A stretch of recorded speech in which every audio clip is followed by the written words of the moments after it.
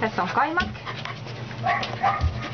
Tuttuja ihmisen kanssa, kuten Ionan kanssa, erittäin ihastuttava. Riemukas, iloinen.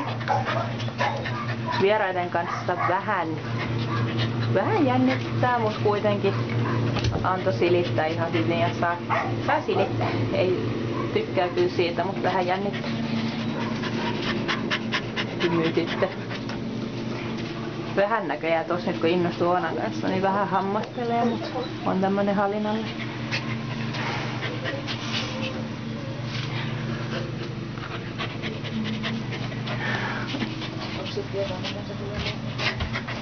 Tämmönen tyttö kotia vailla.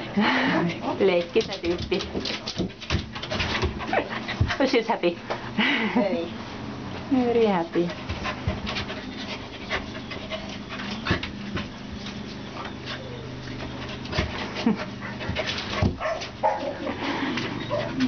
happy. Mm-hmm.